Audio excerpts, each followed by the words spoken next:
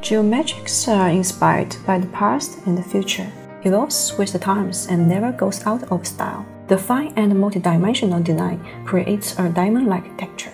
The unevenness on the surface adds more layers to the metal. Light-shadow interaction produces nuance and subtle tint changes. When elegant rose gold encounters practical brass, and hard diamond cutting element mirrors a soft, understated matte finish. The metal is presented in its original state, while delighted with geometric 3D fold. Deluxe, chic, yet unpretentious. Copper also carries with it a ritual appeal.